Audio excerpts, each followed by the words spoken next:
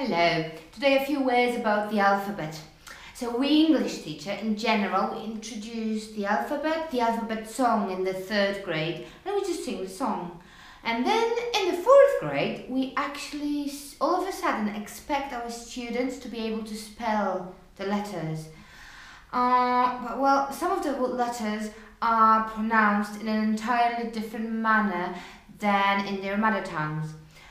So we actually expect them to forget what they have just learned in their mother tongue.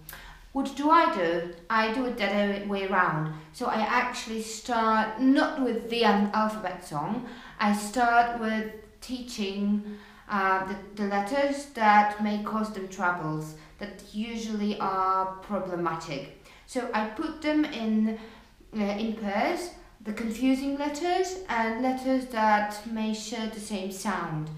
Um, yeah, it's a nice activity. It also um, helps um, in improve uh, focus, balance, and manual skills. This is a great activity for for hands um, getting ready, preparing to uh, to write. So I introduce some of the problematical uh, problematic letters already in the in the seventh grade oh, it's, it's a good time and they really learn those letters. So have a look at the activity and share it with your friends if you like it.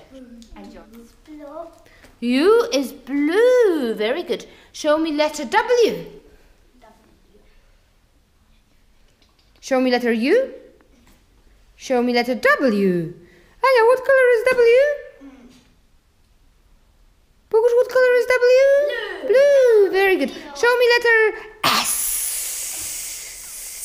S like a snake. S. What color is S, Tashu?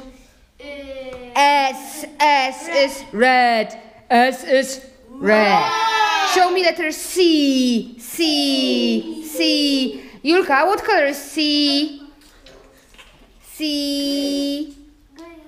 Green. Show me letter A. Show me letter A. Show me letter A. Quickly, A. Show me letter H. Show me letter I. I is white. Show me letter Y. Y is white. Show me letter S. S is red. Show me letter C. C is green. Show me letter.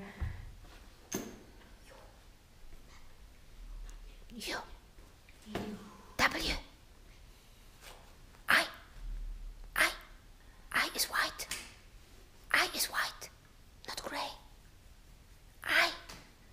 Good. Y. A. A is grey. H. H. H. H.